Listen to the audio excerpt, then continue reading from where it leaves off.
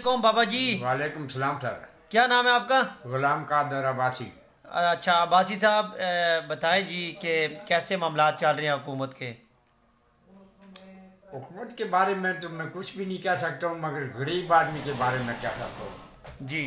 हुकूमत के बारे में ये बड़े लोगों का काम है हुकूमत के बारे में बात करना।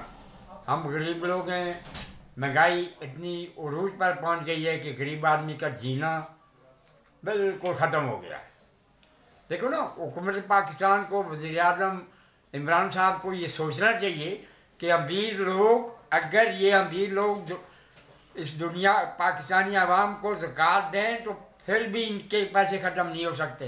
पाकिस्तान अमीर तरीन मुल्क है।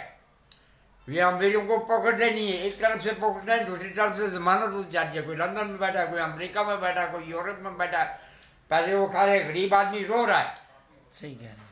वजी अजम साहब को आवाम के बारे में सोचना चाहिए। ये कहते हैं कि जी अब महँगाई है महँगाई तो ज़रूर है। इसके पास तेरह गाड़ियाँ हैं मोटरसाइकिल हैं।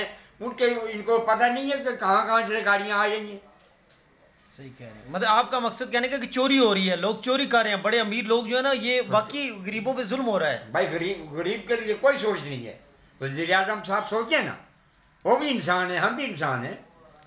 अच्छा वजी अजम साहब सोचें तो लेकिन एहसास प्रोग्राम उन्होंने एक लाया है गरीबों के लिए। महीने का बारह हज़ार रुपया मिल रहा है एहसास प्रोग्राम में से। आपने अप्लाई नहीं किया? देखें सब मिलता है।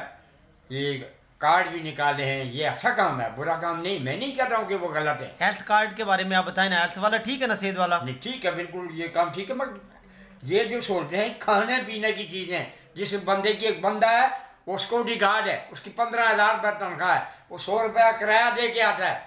अवाम के बारे में सोचते हैं, गाड़ियाँ चलाएँ अवाम के लिए। ये ये जो चल रहे हैं, टैक्सी वाले रात को दो दो सौ रुपया वसूल कर रहे हैं। एक एक बंदे से सौ सौ, दो दो सौ।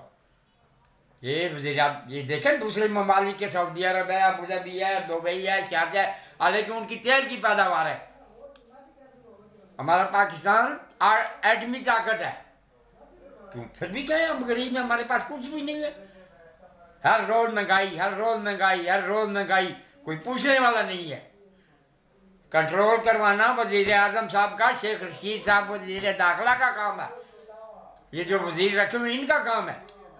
ये कैसे कहते हैं कि भाई हम काम नहीं कर सकते? मैं नहीं कहता हूँ वज़ीर आज़म साहब बुरे हैं। मैं उनके बारे में गलत राय नहीं की हूँ। मुझे क्या ज़रूरत है? वो अच्छा। भी उमर रसीदा मैं भी उमर रसीदा है। अच्छा आप क्या मैसेज दे रहे हैं? आखिरी मैसेज एक दें। मैं ये मैसेज दे- रहा हूँ वज़ीर आज़म साहब, सोचें, दो वलियों की ताकत रखते हैं।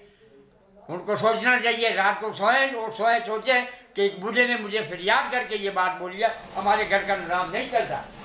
कहाँ से चलेगा जब हम लोग को, हमारा निज़ाम नहीं चलता? पाँच बंदे कमाने वाले पाँचों का नहीं चलता। इतनी महँगाई है।